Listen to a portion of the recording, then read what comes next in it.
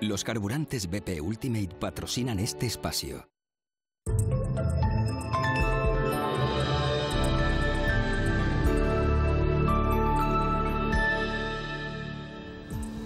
Buena visibilidad esta mañana en la isla de Tenerife. Vemos imágenes desde la costa de la capital. Se dejaba ver la isla de Gran Canaria con cierta nitidez.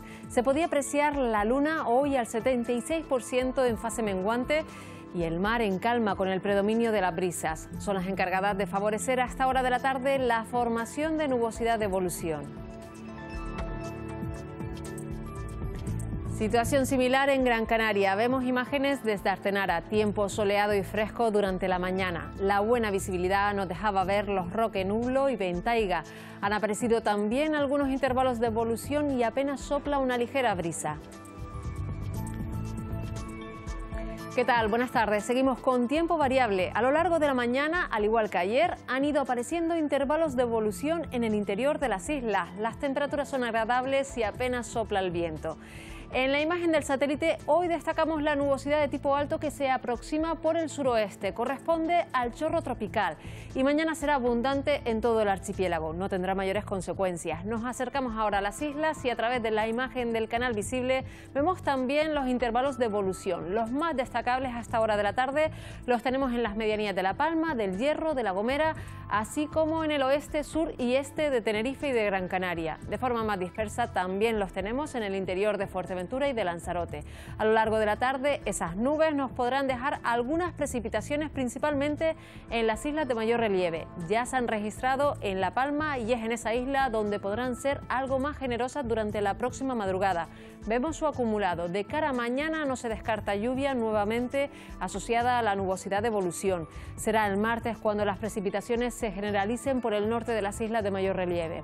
Vemos ahora con detalle, isla por isla, la predicción para mañana lunes.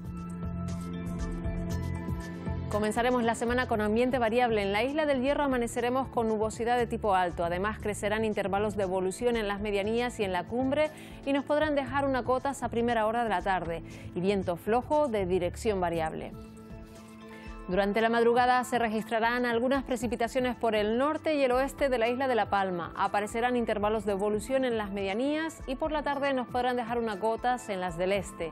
Y las temperaturas mínimas subirán ligeramente, máximas de más de 22 grados en la costa. Para La Gomera la previsión apunta a nubosidad en cantidad variable. Será difícil ver el sol entre media mañana y media tarde. Intervalos de evolución sin descartar unas gotas en el interior y predominarán las brisas en la costa. Poco viento también en la isla de Tenerife, lo que va a favorecer la formación de nubosidad de evolución en las medianías, sobre todo en las del sur y del este.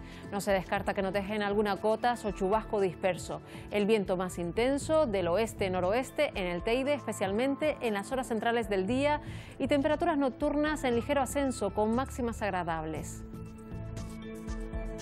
Predominará la nubosidad de tipo alto en la isla de Gran Canaria sin consecuencias. Al igual que hoy, aparecerán intervalos de evolución en las medianías, más compactos en las del sur y del este. Las temperaturas a primera hora marcarán varios grados más y las mínimas serán muy similares, suaves.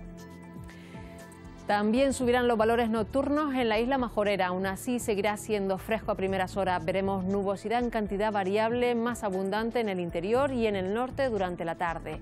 Y situación similar en Lanzarote y en La Graciosa, nubes altas y amplios claros durante la mañana y nubosidad que irá en aumento a lo largo del día. Subirán las temperaturas mínimas y el viento soplará del norte-nordeste más intenso al final del día. Y en el mar seguirá la situación bastante tranquila. Predominará la marejadilla en todas las costas. Por las del norte, las olas más grandes no superarán el metro de altura. Hasta aquí la previsión del tiempo. Nos vamos a ir con estas fotografías. La primera nos llega desde la isla de la Graciosa, con nubes y los relinchones en primer plano. Nos vamos hasta Mesa del Mar en Tenerife para ver el Teide, que también se pudo apreciar esta mañana desde la playa de las Canteras. Y por último, nos vamos a despedir con esta imagen desde la Villa de Maso en La Palma. Pasen buena tarde. Volvemos esta noche después de los deportes.